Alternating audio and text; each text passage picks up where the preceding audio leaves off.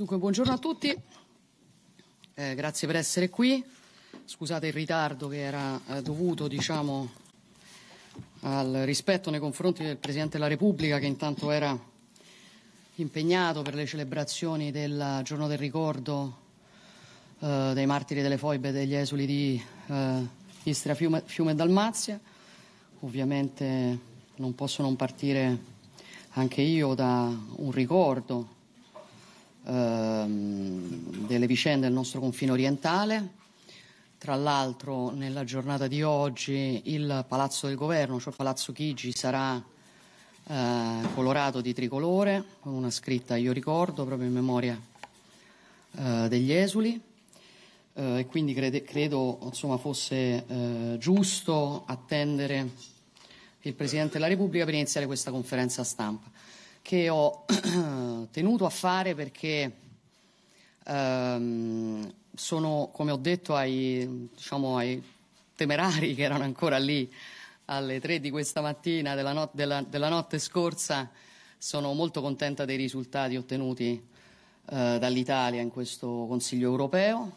Sono eh, estremamente soddisfatta di importantissimi passi in avanti che ritengo eh, l'Unione Europea e il Consiglio Europeo abbiano fatto su alcune materie che erano particolarmente delicate eh, nella discussione eh, che si teneva ieri al Consiglio Europeo. Voi sapete che c'erano tre grandi materie diciamo, in discussione nel Consiglio Europeo, ovviamente la vicenda ucraina che ha visto ieri eh, l'importante presenza del Presidente Zelensky che eh, è venuto a eh, parlare al Consiglio europeo e credo diciamo, che l'immagine di compattezza che è stata data ieri eh, sia un segnale molto molto importante.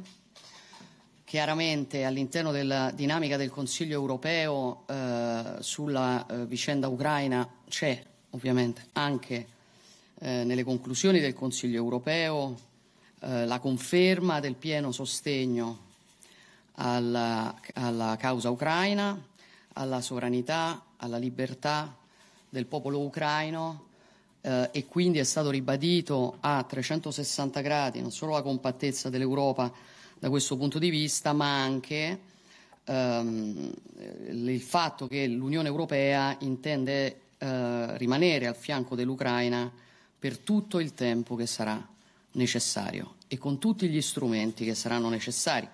Voi sapete che da questo punto di vista l'Italia ha tenuto sempre una posizione estremamente chiara, estremamente coerente. Sapete che il nostro impegno a sostegno dell'Ucraina è un impegno a 360 gradi, è un impegno che eh, riguarda eh, il fronte eh, finanziario, umanitario, civile, militare e anche ieri al Presidente Zelensky, eh, con il quale ho eh, parlato, abbiamo ribadito questa nostra piena disponibilità, ma era importante che al di là dei singoli Stati lo facesse il Consiglio europeo nel suo complesso e quindi eh, giornata molto importante da questo, eh, da questo punto di vista. Um, dopodiché le altre due grandi materie in discussione al Consiglio europeo, come sapete, erano la materia economica e la materia migratoria. Economia la discussione sulla competitività nostre, del nostro sistema produttivo, del nostro, delle nostre aziende, delle nostre industrie, nasce nel precedente Consiglio europeo, è una discussione strategica molto importante che anche l'Italia ha eh, caldeggiato, eh, ritenendo che ovviamente eh, le crisi alle quali siamo stati, ehm, che, che, abbiamo eh, eh, fronteggiato in questi anni necessitino di una discussione strategica sulle priorità che l'Unione Europea deve darsi. Entra nella discussione, ad esempio, la questione delle catene di approvvigionamento, che io ho più volte posto all'interno del Consiglio europeo, cioè ritengo che la vicenda ucraina con l'energia, ma ancora prima la crisi pandemica ci abbiano insegnato come eh, il continente europeo per recuperare una propria piena sovranità debba anche porsi il problema delle catene di approvvigionamento strategico, perché se non si controllano le catene di approvvigionamento strategico si rimane in balia degli eventi. Questa è una discussione che oggi è molto presente nel Consiglio europeo e credo che sia particolarmente importante. Dopodiché, ovviamente, anche in, ehm, diciamo, eh, per fronteggiare le conseguenze delle scelte che altre potenze stanno facendo, il riferimento al reduction, in, in, uh, Inflation Reduction Act americano è uno di questi, ovviamente, per sostenere le loro economie di fronte alle difficoltà che sono generate anche dalla crisi internazionale, eh, noi abbiamo avviato una discussione per capire come si potesse rafforzare anche la resilienza e la competitività delle nostre, eh, delle nostre imprese. Ovviamente le soluzioni che si sono immaginate tra i diversi Stati membri sono diverse e sono eh, eh diciamo molto orientate anche alle possibilità che, che, ciascuno Stato ha. Voi sapete che c'era aperta una discussione, che c'è eh, una discussione che riguarda il tema dell'allentamento degli aiuti di Stato, particolarmente richiesta da alcune nazioni che hanno un maggiore spazio fiscale e che quindi allentando le norme sugli aiuti di Stato possono con maggiore facilità aiutare le loro imprese, eh, che ovviamente eh, è una ehm, soluzione che eh, anche, rischia di avere anche delle conseguenze che bisogna monitorare in termini di tenuta del mercato eh, unico in termini di eh, pari condizioni per le altre nazioni. Questo, questa è una questione che l'Italia ha ampiamente posto, chiedendo che eh, intanto all'allentamento degli aiuti di Stato fosse circoscritto, temporaneo, limitato e in secondo luogo che vi fossero eh, che vi fosse anche la capacità di dare a un problema europeo una risposta europea, perché l'allentamento degli aiuti di Stato rischia di essere una risposta nazionale a un problema europeo.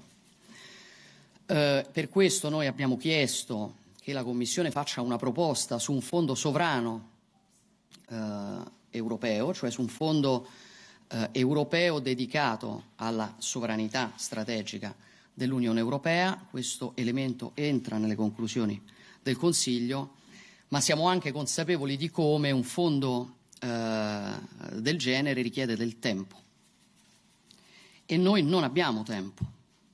Quindi ci siamo interrogati su come si potesse, anche per le nazioni che hanno un minore spazio fiscale, eh, creare, tra virgolette, uno spazio fiscale. Ed è quello che siamo riusciti a ottenere nelle conclusioni di questo Consiglio, cioè la proposta italiana eh, era ehm, oltre a, a, quella del fondo sovrano, eh, la possibilità di una flessibilità sui fondi esistenti. Vale a dire, noi abbiamo dei fondi eh, attualmente già stanziati, che vanno dal Repower EU al Next Generation EU, passando per i fondi di coesione. Quello che abbiamo chiesto è la possibilità di utilizzare appieno queste risorse eh, per ovviamente concentrarle sulle priorità che abbiamo. E l'altra grande questione che abbiamo posto e che eh, diciamo stanotte siamo riusciti a far entrare nella, um, nelle conclusioni del Consiglio, poi se volete io vi dico nello specifico quali sono proprio le parti di testo insomma, che sono, eh, che sono eh, oggetto insomma, delle, delle questioni che ha posto l'Italia che sono molte, ehm, abbiamo chiesto anche che eh, nella futura discussione sulla riforma della governance, cioè del patto di stabilità e crescita, si tenesse conto delle decisioni che venivano prese. E cioè a dire, è ovvio che nel momento nel quale la risposta eh, per nazioni che hanno un minore eh, spazio fiscale è la possibilità del pieno utilizzo dei fondi esistenti rimane il tema dei cofinanziamenti nazionali, perché se poi i cofinanziamenti nazionali che io utilizzo per liberare queste risorse impattano diciamo, sul rapporto deficit-PIL, il problema rimane. E quindi noi abbiamo chiesto che di questi elementi si tenga conto nella discussione sul patto di stabilità, che ovviamente non era una discussione di ieri, perché voi sapete che eh, non era tema all'ordine del giorno e sarà probabilmente tema dei prossimi consigli europei, eh, però siamo comunque riusciti a inserire questo elemento, cioè si tenga nella riforma della, nel dibattito, la riforma del patto sul patto di stabilità e crescita conto delle decisioni che sono state prese, perché quelle decisioni possano essere il più possibile implementate. Quindi eh, io devo dire che eh, con la, la, col tema della, della, diciamo, di aiuti di Stato, di limitare e di eh, eh, rendere temporanei gli aiuti di Stato, con eh, il tema del fondo sovrano, con il tema della flessibilità, con il tema del dibattito sulla governance, la posizione italiana sulla materia economica è pienamente entrata e con la vicenda delle catene di approvvigionamento la posizione italiana è pienamente entrata nelle conclusioni del Consiglio europeo.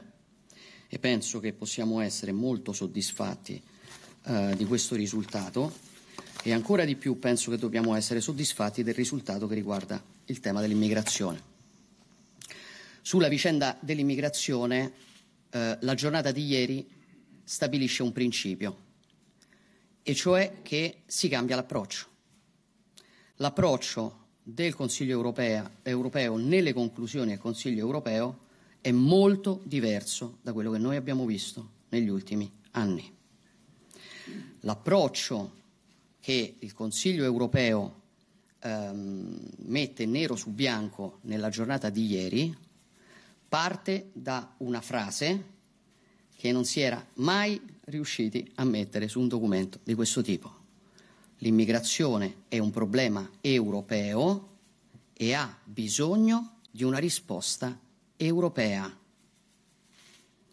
Questo, dal mio punto di vista, cambia moltissime cose nell'approccio europeo alla questione migratoria, ma ovviamente non è l'unico risultato che abbiamo portato a casa.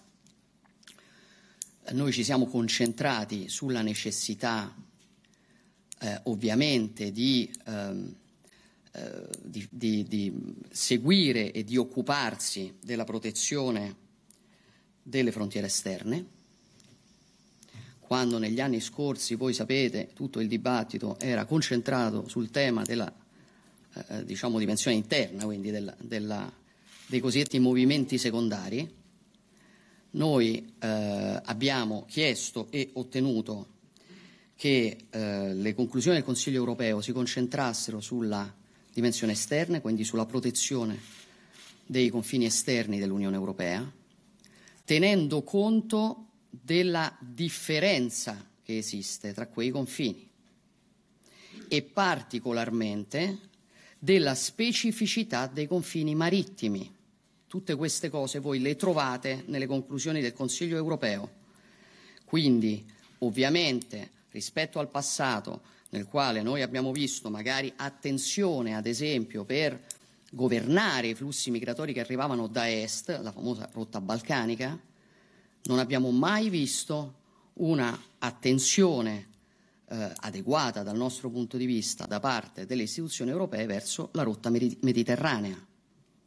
E non abbiamo eh, mai visto eh, nei documenti della, della, del, del Consiglio e della Commissione quello che già eravamo riusciti ad ottenere e che viene confermato e rilanciato nelle conclusioni di questo Consiglio europeo, e cioè la priorità della rotta del Mediterraneo centrale.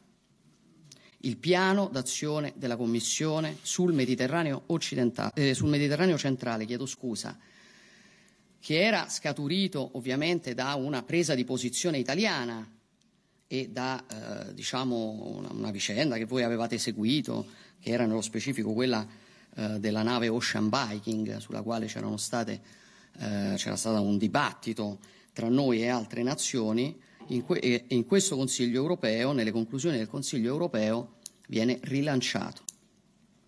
Quindi c'è immigrazione come problema europeo, cioè la dimensione esterna, quindi prima di ragionare dei movimenti interni e dei movimenti secondari, si deve lavorare insieme sui movimenti primari, quindi per eh, eh diciamo, combattere eh, il traffico, per combattere eh, e, diciamo, e, e frenare i movimenti illegali, si deve tenere specificità alla, eh, si deve considerare la specificità del confine marittimo eh, e in particolare della rotta del Mediterraneo centrale.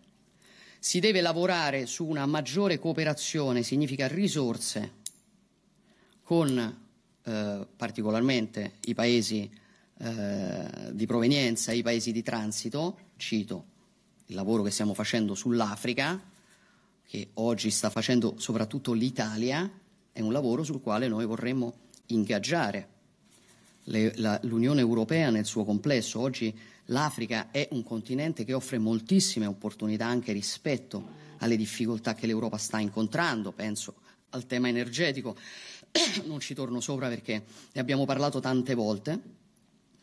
Crediamo che, ad esempio, eh, eh, collaborando meglio con queste nazioni e facendo una cooperazione immaginando una cooperazione eh, rafforzata con queste nazioni, si possa anche ehm, combattere i flussi illegali e segnatamente i trafficanti di esseri umani e governare l'immigrazione eh, eh, consentendo alle persone di entrare in Europa secondo flussi che sono definiti dai Paesi membri in modo legale. Perché io continuo a ritenere che non sia umano eh, mettere il tema delle migrazioni in mano a dei trafficanti di uomini. In questo entra anche eh, la vicenda del rapporto con il cosiddetto cooperation framework, cioè del rapporto con eh, chi è impegnato nelle eh, attività di eh, research and rescue, cioè di, di salvataggio, eh, il, questo tema nelle conclusioni del Consiglio europeo, anche qui sapete, insomma, questa è abbastanza una novità, che si discuta di questo tema e che si discuta di questo tema nell'ottica di regolamentare il funzionamento di queste attività. Questo torna nelle conclusioni del Consiglio, il tema diciamo, di, una, di una framework, cioè di una cornice eh, in almeno tre punti diversi delle conclusioni del Consiglio europeo.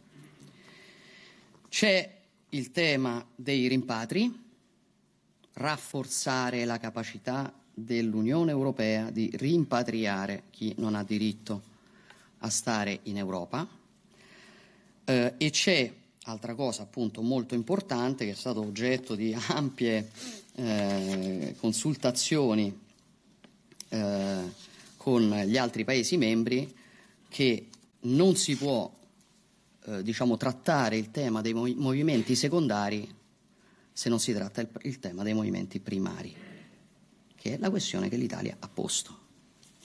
Tutte queste materie sono nei, eh, eh, nel, nel, documento finale della riunione eh, di ieri eh, e credo che eh, per tutto questo, poi ripeto, se volete vi dico proprio mm, diciamo quali sono le parti, ma io insomma mi pare che ci siano almeno 7-8 proposte italiane che entrano in questo Consiglio, che abbiamo eh, preparato eh, dialogando con, eh, con i nostri omologhi facendolo non solo nella giornata di ieri, ma facendolo nei giorni scorsi ho avuto diverse telefonate con eh, appunto i miei omologhi, anche con quelli che potevano sembrare più distanti. Alla fine siamo riusciti a costruire eh, un, appunto, un equilibrio e un documento che secondo me rappresenta una grande vittoria per l'Italia eh, e che dimostra che diciamo, quando c'è la volontà politica di affrontare dei problemi in modo pragmatico e serio si riescono a ottenere dei risultati. Quindi io mi, eh, appunto, eh, mi, mi definisco, come vi ho detto, estremamente eh, soddisfatta eh, del protagonismo dell'Italia lunga, nella lunga giornata di ieri, del protagonismo dell'Italia nei giorni che hanno anticipato questa discussione. Io devo ovviamente ringraziare i nostri Sherpa e tutte le persone che hanno lavorato lungamente insomma, per costruire queste sintesi, però ovviamente poi la differenza la fa la capacità politica che si ha, sia di costruire delle relazioni, di riuscire a dialogare con tutti e di avere anche il, il, così, la, la, consapevolezza necessaria per difendere eh, i propri interessi e cercare una convergenza con gli interessi degli altri. Eh, quindi ehm, una ottima giornata davvero, per cui ci tenevo a raccontarvi questi risultati. Mi fermo qui perché non voglio essere troppo lunga, se volete sono qui per le vostre domande. L'unica ehm, accortezza che eh, vi chiedo di avere è che io sono qui per discutere del consiglio, dei temi relativi al Consiglio europeo. Eh, non perché abbia problemi su tutto il resto, ma perché vorrei raccontare e parlare del lavoro che ho fatto in queste ore, quindi vi chiedo cortesemente di circoscrivere le domande ai temi che sono oggetto della giornata di ieri. Grazie. Bene, cominciamo con il primo blocco di domande. Si sono prenotati Veronica Gervaso del TG5, Michele Esposito dell'Ansa, Alex Janagev di Vista e David Carretta di Radio Radicale. Buongiorno Presidente, eh, buongiorno Veronica Gervaso TG5. Il Consiglio eh, riconosce che l'emergenza immigrazione richiede una risposta globale europea. Lei ha percepito un cambiamento di approccio, ecco, ma nella pratica in cosa si tradurrà? Come va, va... Sì. Faccio altro, rispondiamo. Michele Esposito dell'Anza abbiamo detto.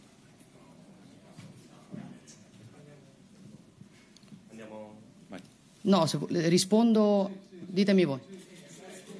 Sì, allora andiamo per singolo. Ah, la rispondo, vabbè, dai, andiamo veloci. Eh, guardi, io non ho percepito un cambio di passo, io ho ottenuto un cambio di passo. Ho ottenuto, insomma, diciamo, abbiamo ottenuto un cambio di passo, perché, come dicevo in apertura, alcune, eh, eh, con, alcuni concetti non erano mai usciti nei documenti europei. Quindi, ovviamente poi no, cioè il, il, eh, il, i documenti del Consiglio europeo sono la cornice sulla quale poi si costruiscono le risposte. No? Ieri con l'ambasciatore Benassi discutevamo sul fatto che almeno il 50 e il 60% di quello che poi arriva come legislazione da noi in termini di recepimento esce dai documenti del Consiglio europeo, per cui la cornice che si, che si definisce è fondamentale. Che cosa significa? Significa ovviamente appunto, che, il, che il dibattito principale qui non è più eh, l'Italia viene lasciata da sola ad affrontare la rotta mediterranea e poi si discute diciamo, dei movimenti secondari e di come bisogna eh, controllare eh, le frontiere con gli altri paesi europei. Questo non è più l'approccio che c'è. Oggi l'approccio è come aiutiamo l'Italia a difendere il suo pezzo di confini esterni dell'Unione Europea. La aiutiamo con risorse, per fare cooperazione, che io credo sia una cosa intelligente da fare indipendentemente dal tema migratorio, per quello che spiegavo sul ruolo che secondo me oggi l'Africa ha e sulla presenza necessaria dell'Europa in Africa, anche perché diciamo, sono altri gli attori che in questi anni no, hanno, eh, insomma, eh, sono stati presenti e secondo me non è un'ottima notizia. Ecco. Quindi come aiutiamo l'Italia, come aiutiamo l'Africa con eh, movimenti legali, come cerchiamo di lavorare per stabilire cosa sia eh, salvataggio e cosa sia altro, come complessivamente governiamo questa materia a sud, mentre lo facciamo nel resto d'Europa. In questi anni qualcosa sul resto abbiamo visto, a sud non abbiamo visto niente sulla rotta del Mediterraneo. Quindi il cambio di passo è evidente e totale e ovviamente noi da qui lavoreremo per costruire poi le risposte concrete che stanno su un altro tavolo. Le nostre iniziative e proposte da questo punto di vista sono moltissime, ma per me, e quindi eh, diciamo siamo, arriveremo sui tavoli competenti eh, molto preparati, però in assenza di questa cornice sarebbe impossibile discutere in qualsiasi altro tavolo. Michele Esposito dell'Agenzia ANSA. Buongiorno Presidente. Ehm, la giornata di ieri è tuttavia iniziata con l'emergere di nuove tensioni tra eh, lei e il Presidente Macron sull'invito eh, al Presidente ucraino Volodymyr Zelensky all'Eliseo. Eh, ieri notte Macron ha confermato che non c'è stato nessun bilaterale tra lei e il Presidente francese, quindi le chiederei se lei pensa che eh, da qui ai prossimi giorni eh, ci sia possibilità di una ricucitura con l'Eliseo e se nonostante questo diciamo, nuovo botta e risposta piuttosto piccato, Italia e Francia confermano l'accordo sull'invio eh, del sistema SAMP-T eh, all'Ucraina. Grazie. Eh, guardi, parto dalla seconda parte, assolutamente sì, nel senso noi siamo da tempo impegnati eh, nella, diciamo, nella, joint venture, nella, nella, collaborazione su una materia che è eh, molto eh, importante per il Presidente Zelensky, per l'Ucraina. Eh, credo che tra l'altro si stia procedendo in maniera molto veloce eh, e credo che insomma, nei prossimi giorni, spero, saremo in grado diciamo, di eh, eh, definitivamente insomma, di ehm, dichiarare che insomma, siamo pronti ecco, rispetto al sistema SAMT. Eh, riguardo a quello che è accaduto ieri, guardi, io confesso che diciamo, vivo alcune letture italiane, eh, diciamo, le trovo un po' provinciali, non so come spiegarlo, no? nel senso che eh, il tema non è ehm, gelo, eh, problemi. Il tema, secondo me, è che l'Italia è una nazione abbastanza centrale in Europa da dover dire quando su qualcosa non è d'accordo. Cioè, rispetto alla lettura che io ho visto in passato, per cui per noi era sufficiente stare in una foto, e pensavamo che questo avrebbe definito la nostra centralità, la nostra politica estera, la nostra capacità di incidere, io penso che le cose non vadano così. Cioè il tema non è se stai o non stai in una foto, ve lo dico perché eh, diciamo, la mia presa di posizione sull'invito di Zelensky a Parigi è stata letta come una eh, diciamo, risposta al fatto che l'Italia non era stata invitata. Se io fossi stata invitata, avrei diciamo, consigliato di non fare quella riunione. Perché? Perché a noi sull'Ucraina interessa soprattutto dare un messaggio di compattezza. Cioè, signori, parliamoci chiaro, non è facile per nessuno di noi gestire il tema dell'Ucraina con la nostra opinione pubblica. Le persone sono spaventate, giustamente, sono preoccupate, e qual- quello che noi facciamo per sostenere l'Ucraina, ritenendolo giusto, sul piano del consenso può anche non essere diciamo, la soluzione migliore. Però tutti abbiamo privilegiato quello che era giusto rispetto a quello che era utile per il nostro consenso personale. Quello che è utile, scusate, quello che è giusto e quello che era importante della giornata di ieri era la foto dei 27 paesi europei con Volodymyr Zelensky. Perché è il messaggio più forte che puoi dare.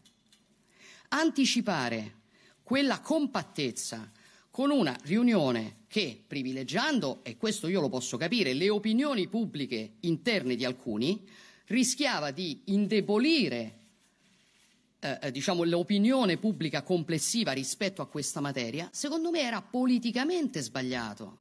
Per cui vi prego, usciamo dal tema di c'eravate o non c'eravate nella fotografia. A me non interessa essere nella fotografia, è una cosa che non condivido. Non l'ho condiviso, ritengo di doverlo dire, ma non vuol dire che si crei del gelo o cioè, anche questi rapporti col presidente francese. Delle volte lavoriamo insieme, delle volte siamo meno d'accordo, ma sono rapporti politici. Mi pare che vengano raccontati come se, se stessimo alle, alle, alle medie, cioè fosse un problema personale. Io credo che non andasse in nessun modo indebolita la forza dell'immagine di ieri. Lo penso e l'ho detto. E questo ha prodotto un isolamento per l'Italia? Signori, vi segnalo, a Parigi c'erano due presidenti europei e non ce n'erano altri 25.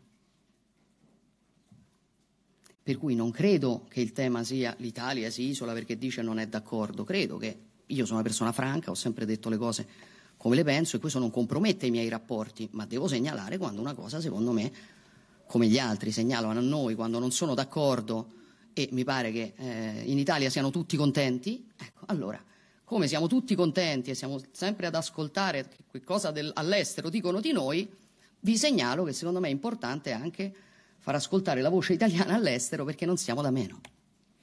Alexander Janavjev di Vista. Salve Presidente. Alexander Yahnagiev, agenzia Vista. Ehm, intanto le volevo chiedere Cosa vi siete detti con Zelensky in questo colloquio che avete avuto a margine del Consiglio? E, ehm, poi le volevo chiedere, secondo lei quindi questa posizione di cui lei ci parlava adesso è stata in qualche maniera, lei ha sentito un po' una condivisione dagli altri leader che appunto non, non hanno partecipato a questi 25 e al momento secondo lei con la Francia quanti gradi sono di temperatura? che è comunque meglio della domanda sul tempo circolare o lineare. allora, eh, partiamo dalla, dalla fine. Eh, dunque, che cosa ci siamo detti con, con Zelensky? Eh, Presidente Zelensky ci teneva ovviamente a ringraziare ancora l'Italia per il grande impegno che sta portando avanti a 360 gradi, come dicevamo è molto molto sensibile alla vicenda, al tema del SAMT, su cui pure insomma, abbiamo potuto dare delle rassicurazioni mi ha nuovamente invitato a uh, Kiev, dove uh, appunto tiene particolarmente che ci sia una nostra presenza. Adesso insomma, stiamo lavorando per capire uh, come organizzarla. e poi insomma ovviamente abbiamo discusso anche di, di altre necessità ecco, che l'Ucraina ha che riguardano sia sì, la, la questione militare ma anche quella civile. Io ricordo che l'Italia ad esempio è stata protagonista eh, di recente nell'affrontare eh, per esempio i bisogni legati ai generatori di elettricità che gli ucraini avevano di fronte ai bombardamenti russi verso le infrastrutture strategiche e anche lì insomma, penso che l'Italia abbia eh, giocato un ruolo molto importante e di questo gli ucraini sono pienamente consapevoli. Eh, la domanda sui gradi, guardi, non so quanti gradi ci siano qui, ma insomma non, non, ci sono, ripeto, non, mm, io oggi ho visto una foto, no? Ciao Meloni, sempre con questa faccia un po'. E c'era, ma vedi il cielo della Meloni. Cioè, signori miei, siamo stati lì cinque minuti, un minuto prima io e Macron ci siamo stretti la mano davanti agli stessi fotografi, eh? Ci siamo sorrisi, ci siamo stretti la mano, dopo stavamo chiacchierando con eh, Xavier Bettel, il presidente del Lussemburgo, su eh, non ricordo quale vacanza che stava facendo in Francia. Tutto si può raccontare, ma sono rapporti normali, eh? Sono rapporti normali. Certo, ripeto, rispetto a chi pensava in passato che la politica estera italiana dovesse essere semplicemente farsi dare la pacca sulla spalla e dire quanto sei bravo e poi diciamo eh, non considerare i tuoi interessi, io penso che gli interessi dell'Italia eh, diciamo, siano più rilevanti e quindi credo di doverli difendere, come considero normale che Macron difenda gli interessi francesi, che Scholz difenda gli interessi tedeschi, che Sanchez difenda gli interessi spagnoli, perché questa è la discussione che poi noi abbiamo. Cioè l'approccio italiano, secondo me, era sbagliato quando si riteneva che no, appunto, facciamo la foto insieme, poi decidete voi. No, no. Diciamo, io vado un po' più al sodo, a me interessa il sodo delle cose. A me interessa non la fotografia, mm, la Meloni, no? e poi io di facce ne faccio va- varie. A me interessa questo. E questo dice tutt'altro rispetto a un presunto isolamento italiano. Questo dice che c'è un'Italia che sa dialogare con tutti, che è un'altra cosa. E anche qui la Meloni sceglie Visegrad. Io diciamo come fanno tutti i partiti europei, sono presidente dei conservatori europei, prima delle riunioni del Consiglio europeo tendenzialmente ci si vede con i primi ministri del proprio partito, che nel caso specifico sono Peter Fiala eh, della Repubblica Ceca e Mateusz Morawiecki dalla Polonia. L'avevamo fatto l'altra volta, lo abbiamo fatto ieri e quindi non si tratta allora io, sempre con questi, con questi metodi, sempre un po' bam- presunti bambineschi, allora non mi volete nella foto, allora io vado a parlare con i polacchi. io no, cioè, non lo so, io neanche a, a, a, a, dieci anni ragionavo così, ok? Scusatemi, ma io non ho mai ragionato così in vita mia. Però le dico, i buoni rapporti che io ho con alcune nazioni sono stati utili qui. Perché quando noi abbiamo sbloccato l'accordo sulla web taxation, che tenevano bloccati Polonia e Ungheria, Secondo lei, chi è stato a sbloccare quell'accordo? È esattamente quello che tento di spiegare quando si dice che c'è un'Europa di serie A e un'Europa di serie B. Secondo me non c'è un'Europa di serie A e un'Europa, un'Europa di serie B. Secondo me chi pensa che l'Europa debba essere un club nel quale c'è eh, diciamo, chi conta di più e chi conta di meno sbaglia perché indebolisce l'Europa.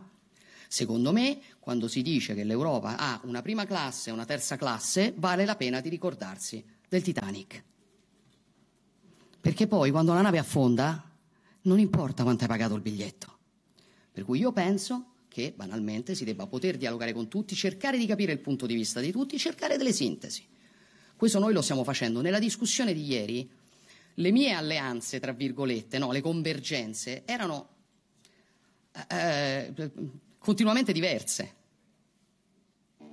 E quindi non c'è, non credo che sia più forte la posizione di dire noi ci mettiamo d'accordo prima su tutto e poi gli altri si adeguano. Penso che possa essere anche forte la posizione di dire vediamo i paesi con i quali posso convergere su una determinata materia e tenersi i rapporti aperti con tutti. Questo è il modo con cui io affronto le riunioni del Consiglio europeo, mi pare con risultati che sono discreti. David Carretta, Radio Radicale. Grazie. Eh, Presidente David Carretta, Radio Radicale. Scusate, il computer. Eh, proprio per eh, citarle i, i, i, testi. Una prima domanda sulla, sulle conclusioni a proposito dell'economia e sulla questione della flessibilità nell'utilizzo dei fondi, in particolare i fondi della coesione, perché sono una fetta importante in termini di miliardi che potrebbero essere usati. Ma non c'è il rischio di togliere quei miliardi alle regioni del sud eh, a cui sono stati destinati, spesso non riusciamo a spenderli tutti, ma alla fine li usiamo per altre urgenze rispetto alle regioni del sud. La seconda domanda riguarda le conclusioni, quello che lei ha rivendicato in termini di testi. Giugno 2018, conclusioni del Consiglio europeo la politica migratoria è una sfida non solo per il singolo Stato membro, ma per l'Europa tutta. Paragrafo 3.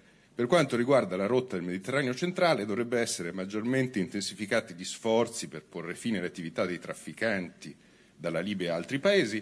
L'Unione Europea resterà al fianco dell'Italia e di altri paesi in prima linea. E, Grazie. ultimo passaggio, c'è anche la questione delle navi delle ONG. Conclusione del Consiglio europeo. Altri suoi predecessori hanno sempre detto piani per l'Africa, compact, eccetera. Concretamente, cosa cambia da domani? Grazie. Allora, sul tema dei fondi di, fless- sulla, sui tema dei fondi di coesione, no, non c'è questo rischio perché ehm, noi non stiamo ragionando di modificare eh, diciamo anche qui la, la, mm, la, cornice degli aiuti di Stato, di modificare le norme relative al, al, ai fondi di coesione, per cui i fondi di coesione verranno comunque destinati a quello a cui sono destinati. Il punto è concentrarli sulle materie che sono più necessarie in questo momento, sulle priorità che sono più necessarie. Quindi non è che prendiamo i fondi di coesione e li mandiamo da un'altra parte in altre regioni. Il punto è capire se oggi si possono insieme al Repower EU, insieme al PNRR, cioè facendo un ragionamento che è complessivo, nell'ambito ovviamente di regole che esistono e che eh, diciamo non, eh, non, non, mettiamo in discussione, se si possa costruire diciamo, uno spazio fiscale che ci consente di concentrare risorse su priorità che noi oggi abbiamo, segnatamente tutto il tema della competitività delle imprese, tutto il tema che è legato anche no, alla transizione ma facendolo sempre dando la priorità ovviamente a quelle che sono, per quello che riguarda per esempio i fondi di coesione, le, le, eh, eh, i territori maggiormente interessati. Per quello che riguarda eh, il tema del Consiglio europeo, eh, intanto sì, una cosa è dire eh, l'Europa aiuterà eh, l'Italia nel Mediterraneo, una cosa è avere un piano d'azione della Commissione europea sulla rotta del Mediterraneo centrale. Eh, cambia molto. Perché il punto è, come dicevamo, il Consiglio europeo diciamo, stabilisce una cornice. Dopodiché, che tipo di concretezza si dà a quella cornice è quello che fa la differenza. Noi siamo partiti dalla concretezza e poi l'abbiamo rafforzata al Consiglio europeo. Perché noi, con la posizione italiana, per esempio sulla rotta del Mediterraneo centrale, abbiamo fatto sì che la Commissione europea elaborasse un piano d'azione. Dopodiché abbiamo scritto nelle conclusioni del Consiglio europeo che quel piano d'azione va implementato e messo in moto. Questo vuol dire avere delle iniziative concrete rispetto a dire non lasceremo sola l'Italia, perché non lasceremo sola l'Italia, ma poi io non l'ho vista questa cooperazione.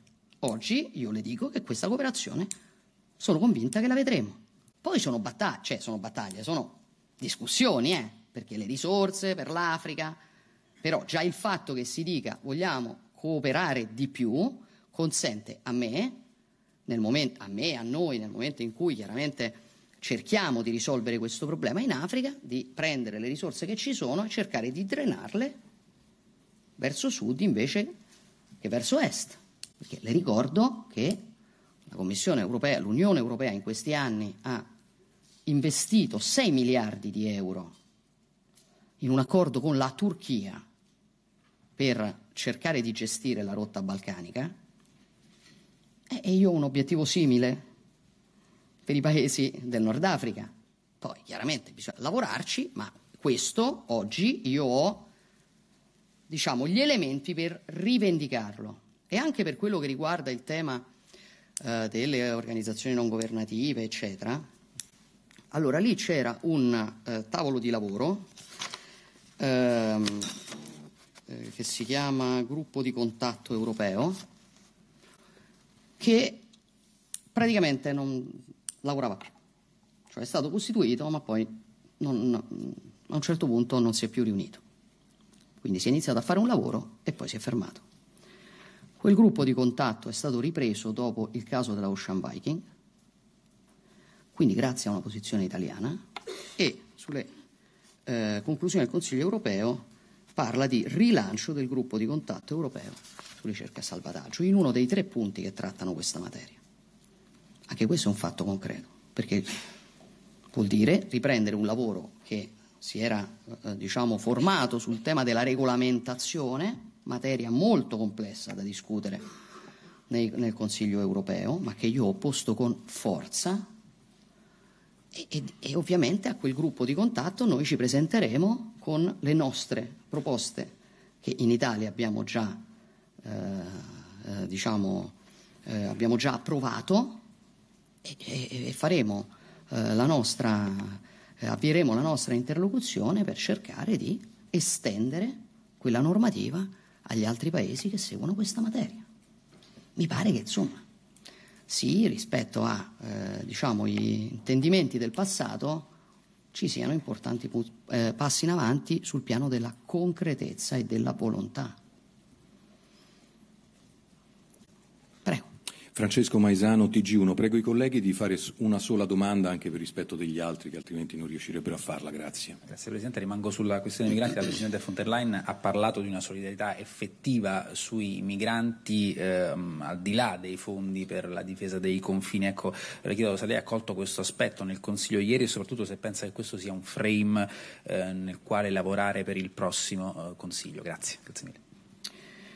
Eh, ovviamente ci dobbiamo continuare a lavorare e tra l'altro non so se il Presidente Michel ha già fatto la sua conferenza stampa, eh, ma credo che eh, dirà, secondo quello che ha detto ieri in Consiglio, che, ehm, che noi continueremo a valutare anche nel prossimo Consiglio eh, europeo eh, diciamo questo lavoro, come sta andando avanti concretamente questo lavoro che riguarda particolarmente i temi migratori, quindi certo che è una situazione che va monitorata nel tempo e sulla quale anche gli aggiustamenti necessari eh, li porteremo ogni qualvolta saranno eh, ogni, ogni, qualvolta lo, lo riterremo. Eh, sul tema della solidarietà effettiva, guardi, io ho trovato in realtà molta, molto più pragmatismo eh, di fronte ehm, a, a, temi semplici che abbiamo posto sulla questione eh, migratoria di quanto eh, non ne trovi in altri dibattiti. Il problema delle migrazioni è un problema che hanno tutti. Il problema di non governare i flussi migratori è un problema che hanno tutti. e credo che tutti lo vogliano affrontare con pragmatismo. Io non ho visto posizioni, come posso dire, ideologiche, no? Come pure, insomma, in molta parte del dibattito delle volte su questa materia eh, si è abituati a, eh, a vedere. Io ho visto che di fronte a una spiegazione chiara, che per esempio io ho tentato di fare, di che cosa accade sulla rotta mediterranea, di cosa sia solidarietà e di cosa non sia solidarietà, ci sia molta convergenza.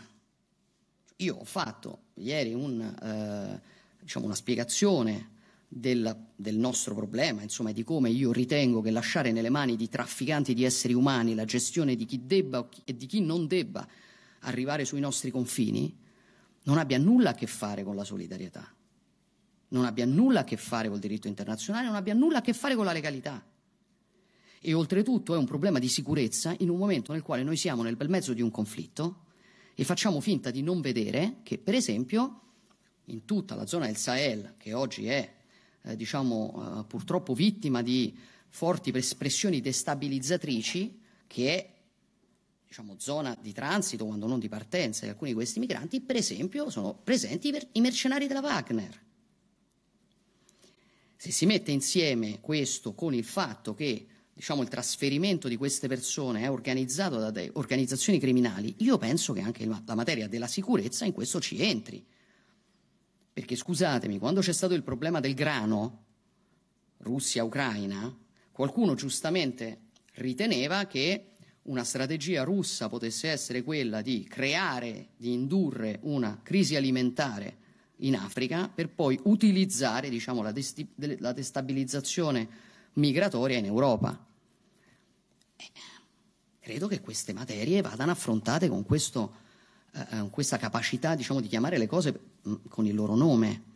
Allora, io penso che sia arrivato il momento, e l'ho detto al Consiglio europeo, di stabilire il principio che non possono essere i criminali a fare la selezione d'ingresso in Europa. Questo lo dobbiamo fare noi.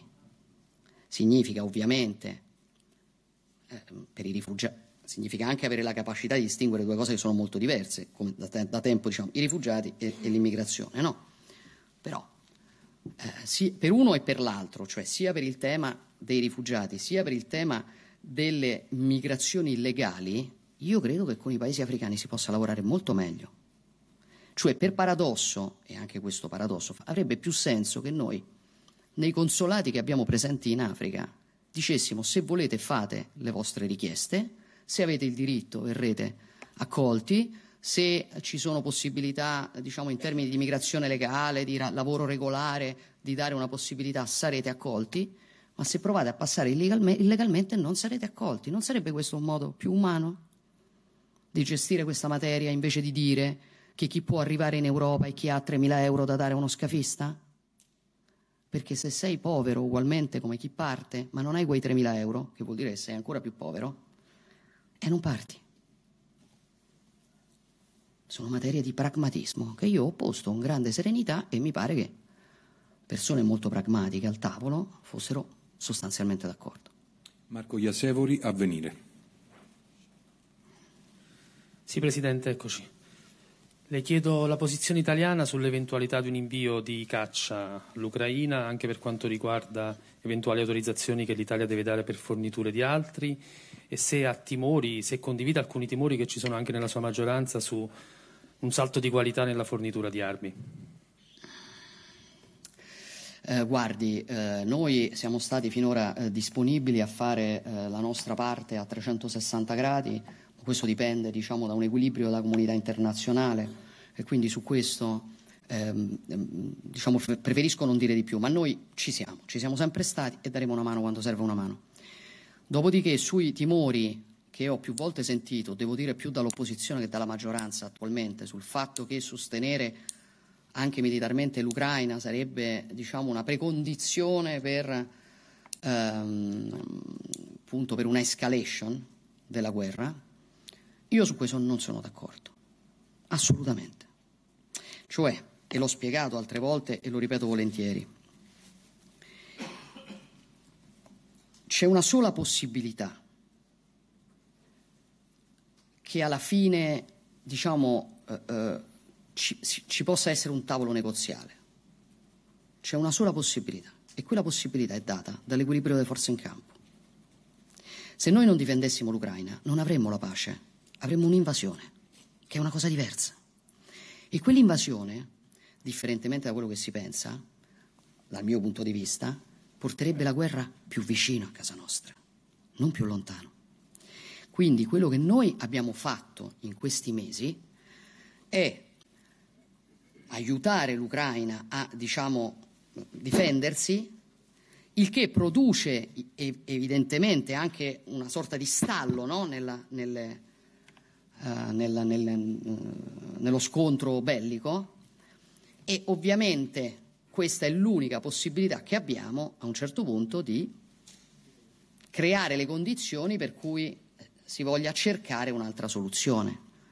Per cui, semplificando, secondo me è chi aiuta l'Ucraina che sta lavorando per la pace mentre chi dice che l'Ucraina non va aiutata lavora intanto diciamo, eh, per ottenere l'impossibilità di una nazione sovrana di difendere quella sovranità e quella libertà, il che per me già non si può fare per come io vedo il mondo, ma soprattutto lavora per paradosso o rischia di produrre con le sue posizioni l'esatto contrario di quello che sta dichiarando, e cioè una guerra che si propaga e non che si ferma. Brahim Marad, Agenzia Italia. Buongiorno Presidente, io torno al tema economia, vorrei chiederle il prossimo vertice, probabilmente eh, a marzo si parlerà più nel dettaglio, nel vivo, sia del piano industriale europeo ma anche eh, della riforma del patto di stabilità. Eh, la domanda è come eh, gli Stati, anche per garantire la, eh, la tutela dell'industria, la competitività, l'integrità del mercato unico, possano eh, gestire nei negoziati eh, per il patto manovre sul debito che ad esempio permettano di, eh, delle esenzioni sulle soglie di debito per gli investimenti a tutela del, dell'industria. Ecco. Grazie. Grazie a lei. Guardi, questo è un grande tema che noi porremo ehm, nella, nella, discussione sul patto di stabilità. Cioè ehm, è evidente che ehm, tutte le discussioni che noi stiamo facendo rischiano di eh, non essere così efficaci se non consideriamo ehm, gli investimenti che le nazioni dovranno fare, saranno chiamate a fare e che è giusto e bene che facciano nei prossimi anni nella discussione sul patto di stabilità e crescita. Il patto di stabilità e crescita negli scorsi anni è stato più un patto di stabilità che un patto di crescita quello che vogliamo fare noi adesso è avere più un patto di crescita che un patto di stabilità. Ok? E questo significa cosa? Significa che ovviamente nel calcolo del rapporto no, sulla stabilità delle nostre conti e delle nostre risorse devi tenere in considerazione il differente impatto che gli investimenti hanno in termini moltiplicatore rispetto a quello che ha la spesa corrente. E quindi, ad esempio, tutta la discussione che è stata lunghissima ieri, che è stata una delle questioni sulle quali io più, diciamo, dovuto eh, difendere la mia, la mia posizione, quindi sul tenere in considerazione i cofinanziamenti della flessibilità dei fondi europei, chiedo scusa, nel mm, dibattito sulla governance, è figlia di questo ragionamento. Quindi c'è un'interlocuzione che è iniziata, la, base di partenza mm, è una base di partenza discreta, nel senso ne stiamo discutendo, abbiamo discusso, io ho parlato più volte anche con il commissario Gentiloni, che è il commissario competente, ma chiaramente il nodo della questione è lì. Cioè o si riesce a capire l'importanza che in questo momento hanno gli investimenti anche delle risorse che l'Unione Europea ha messo eh, in campo e quanto sia importante poter spendere quelle risorse per produrre una crescita economica senza la quale non puoi avere neanche stabilità. Perché guardi, a me chiedono sempre, ma come si fa il debito italiano? L'unico modo per rendere sostenibile il debito italiano è produrre crescita. Eh? È l'unico modo serio. Noi chiederemo ovviamente un patto di stabilità e crescita che sia particolarmente concentrato sul tema della crescita. Gabriele Martelloni, Rai News 24, per cortesia una domanda sola, grazie. Buongiorno Presidente, una delle proposte forti che aveva portato l'Italia sul versante economico era quello di arrivare a un fondo sovrano europeo. È una dimensione di prospettiva, come lei ha ricordato più volte, ci sono stati che frenano su questo. Dopo aver partecipato a questo vertice e parlato con tanti leader, ha trovato segnali incoraggianti, insomma è ottimista che si possa arrivare a questo o no? Grazie. Um, diciamo che intanto sono contenta di... Uh de, del fatto che questa materia, e non era scontato, guardi, sia entrata nelle, nelle conclusioni eh, del Consiglio europeo, io la stavo cercando, ma qui eh, non facilissimo. Ehm, e quindi ovviamente anche qui c'è un margine importante per, ehm, c'è un margine importante per arrivare a questo obiettivo. Con la stessa franchezza le dico che non è una discussione facile, questo lo dobbiamo sapere. Ci sono nazioni che sono molto chiuse rispetto a questa ipotesi, però non credo insomma, che sia un, uno schema diverso da quello che magari abbiamo visto no? quando poi è nato il Next Generation EU. Si tratta anche lì di cercare piano piano un passo avanti ciascuno, di arrivare a soluzioni che possano essere condivise. Eh, io credo che ehm, la valutazione vada fatta, vada fatta partendo da questo ragionamento. Se noi pensiamo che in un momento come questo, con il mercato unico che abbiamo e con le nostre economie interconnesse, immaginando provvedimenti che mettono più in sicurezza qualcuno e meno in sicurezza qualcun altro, non ci rimettiamo tutti, stiamo facendo una scelta sbagliata. Quindi c'è l'allentamento degli aiuti di Stato, c'è la flessibilità sui fondi esistenti. Questa risposta produce un equilibrio? Questa è una, è una verifica che va fatta a breve. Dopodiché io credo che se, fo- che se questa soluzione non dovesse essere sufficiente, inevitabilmente si dovrà andare o si tenderà ad andare verso un fondo sovrano, perché ovviamente se alcune nazioni in particolar modo, ma tutte, cominciano a subire magari perché non c'è il famoso level, play, eh, level playing field, cioè le pari condizioni, o magari perché le risorse, diciamo lo spazio fiscale che hanno aperto può non essere sufficiente, siccome non conviene a nessuno indebolire l'economia europea, credo che questa discussione possa tranquillamente avere il suo diritto di cittadinanza. È un tema che noi intendiamo portare avanti con convinzione, ma sappiamo anche che è una, diciamo, eh, è una lunga interlocuzione che andrà eh, che andrà portata avanti e che insomma, abbiamo la resilienza per portare avanti. Alberto Ferrarese, Asca News. Buonasera Presidente. Altre tre. Salve, buonasera. Ehm, un tema che magari non è stato toccato in Consiglio, ma sia ieri che oggi è stato chiesto all'Italia di chiudere la partita dei balneari che è aperta da troppo tempo. Non so se su questo ci può dare una tempistica e se invece nel dibattito le hanno ricordato la questione del MES che l'Italia deve approvare. No, nel dibattito non è uscita la questione del MES eh, e sulla vicenda dei balneari eh, beh, lei sa come la penso, insomma, io credo che ci siano delle interlocuzioni che si possono ancora avviare a partire dal tema storico della mappatura delle nostre spiagge ehm, per capire quale sia appunto la effettiva scarsità del bene, per eh, ragionare eh, nel senso di ovviamente difendere anche un, un mondo produttivo che secondo noi è strategico.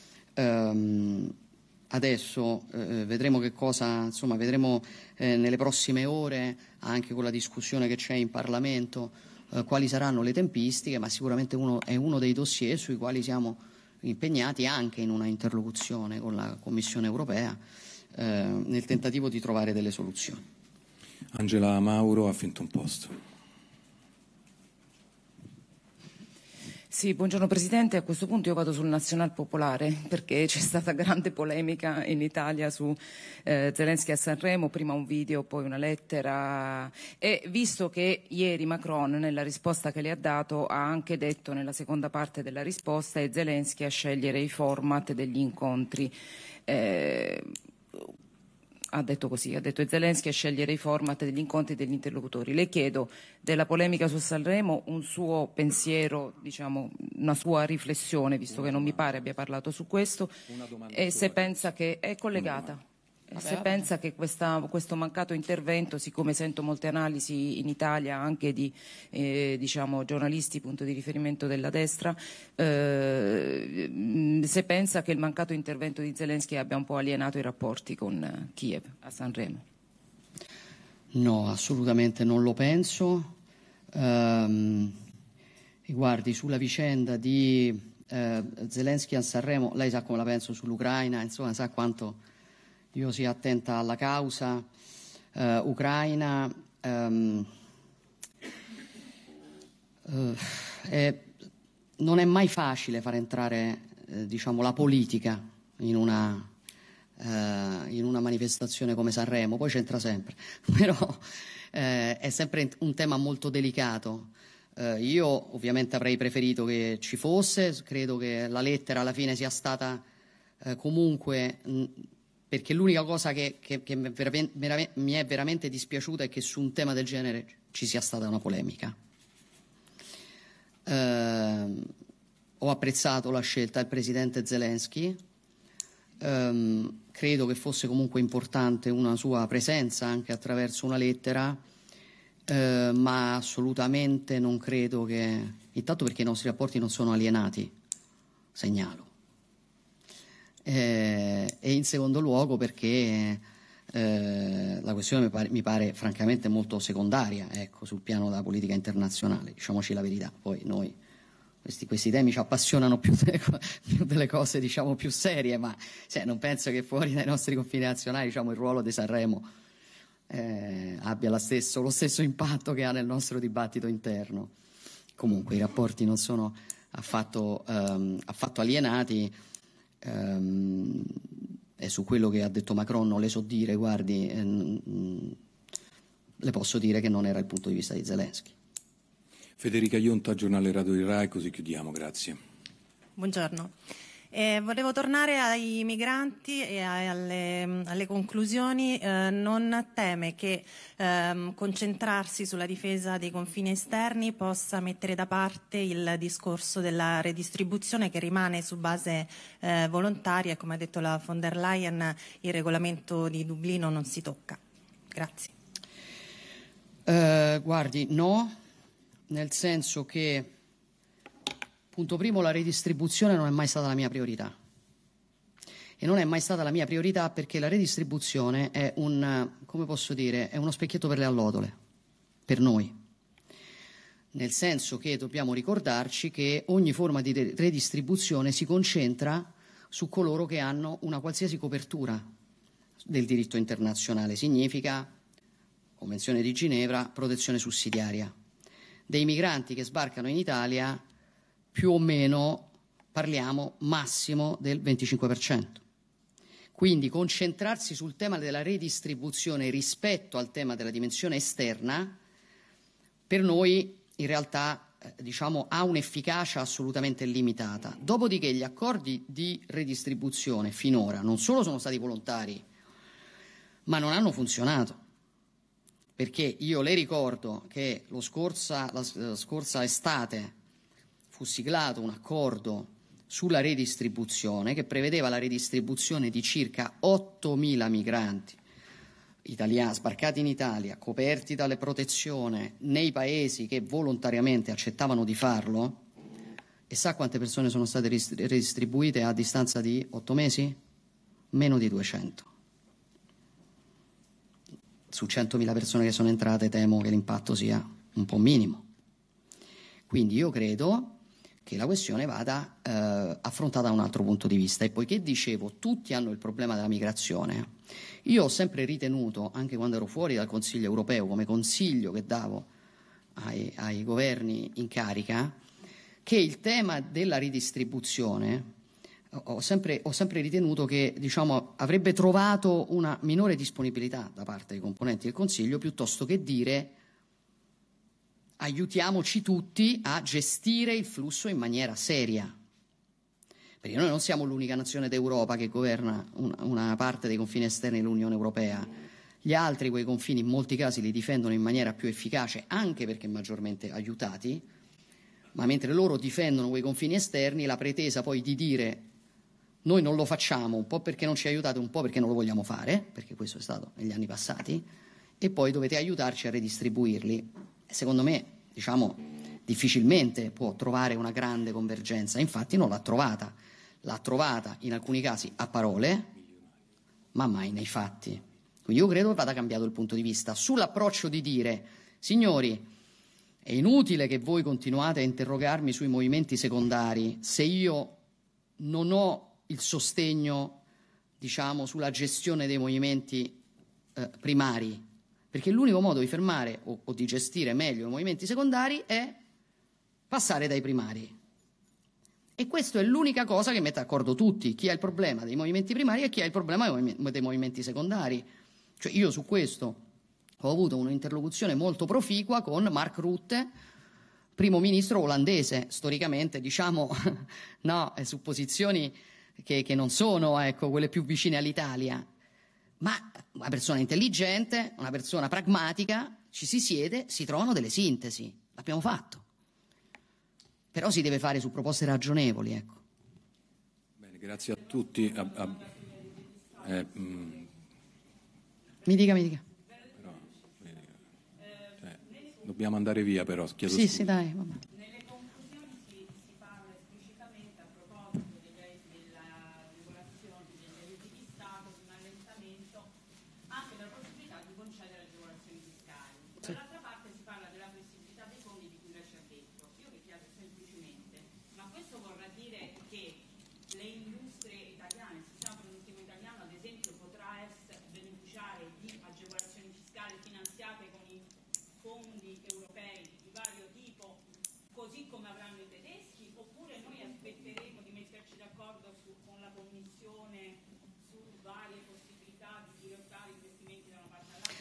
Guardi, io sono sta- questo ovviamente poi è oggetto di tutte le interlocuzioni che noi avremo, ma io sono stata molto chiara anche con la Commissione sulle pari condizioni per le nostre aziende e quindi si dovranno insieme trovare, non saranno i fondi di coesione o saranno in parte saranno i fondi del PN.